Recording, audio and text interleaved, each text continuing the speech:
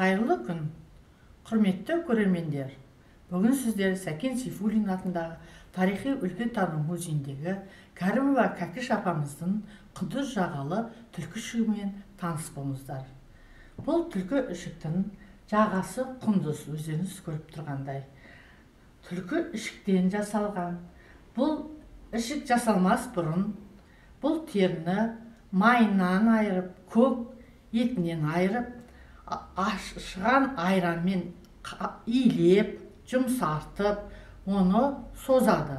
Сонан кейін барып дайын болған кезде теріні ар жағын тақыр жағын ар жағына қаратып бергі терісі бар жағын өніне қаратып тігеді.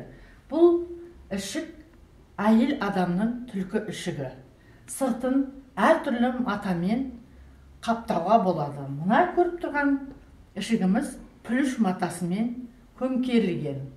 Ішіктерді тіккенде терілеріне қарай тіккен. Жұқа тері болса мақта жіппен.